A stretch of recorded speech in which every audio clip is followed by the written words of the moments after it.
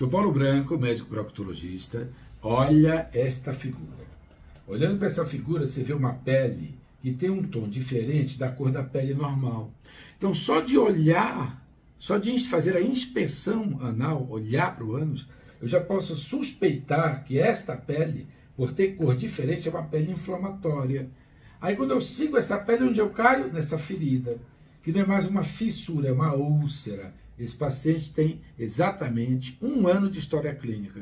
O proctologista enrola, enrola, enrola, medo da incontinência anal, paciente com dor, dor, dor, dor, sofrência, vai lá, às vezes opera, faz cirurgia incompleta, agora inventário de tira o plicoma, injeta toxina na fissura, não resolve nada. Esse paciente foi assim. O proctologista tirou a pele, injetou toxina, tá aí, ó. Sofrência. O que é que eu fiz? Anestesia local, tirei o glicoma com laser, tirei a fissura todinha, limpei, e aqui já é o músculo, baixei a pressão em 30%. Bom, bom resultado? 98% da fissurectomia com laser, anestesia local e sem internação. Nada de toxina. Inventar toxina durante a cirurgia está aqui, ó. Esse paciente foi dos, uma das vítimas, tá bom?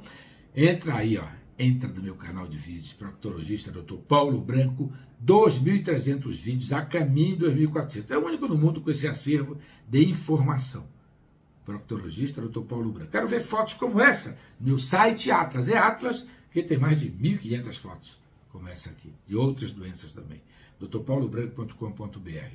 Redes sociais, Facebook, Instagram, arroba doutor ou dr. Paulo Branco. Um abraço.